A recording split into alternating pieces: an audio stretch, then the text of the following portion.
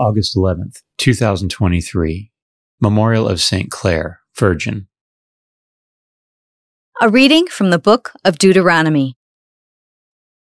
Moses said to the people, Ask now of the days of old before your time, ever since God created man upon the earth. Ask from one end of the sky to the other. Did anything so great ever happen before? Was it ever heard of?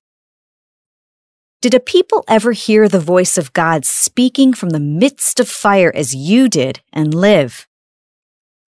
Or did any God venture to go and take a nation for himself from the midst of another nation by testings, by signs and wonders, by war, with his strong hand and outstretched arm, and by great terrors, all of which the Lord your God did for you in Egypt before your very eyes? All this you were allowed to see, that you might know the Lord is God and there is no other. Out of the heavens he let you hear his voice to discipline you. On earth he let you see his great fire, and you heard him speaking out of the fire. For love of your fathers, he chose their descendants and personally led you out of Egypt by his great power, driving out of your way nations greater and mightier than you, so as to bring you in and to make their land your heritage as it is today. This is why you must now know and fix in your heart that the Lord is God in the heavens above and on earth below, and that there is no other. You must keep his statutes and commandments, which I enjoin on you today, that you and your children after you may prosper, and that you may have long life on the land, which the Lord your God is giving you forever. The Word of the Lord. The Responsorial Psalm.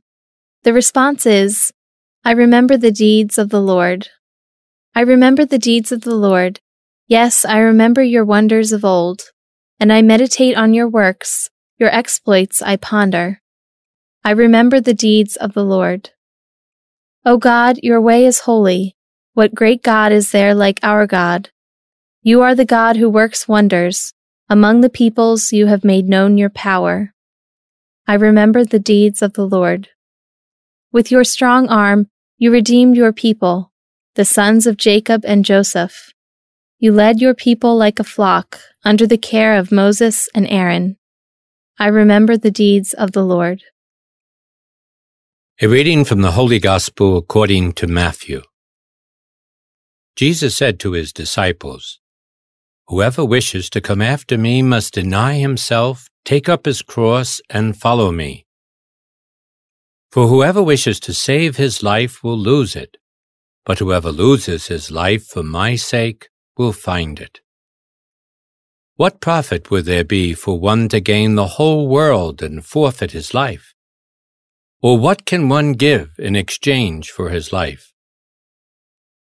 For the Son of Man will come with his angels in his Father's glory, and then he will repay each according to his conduct. Amen, I say to you, there are some standing here who will not taste death until they see the Son of Man coming in his kingdom. The Gospel of the Lord.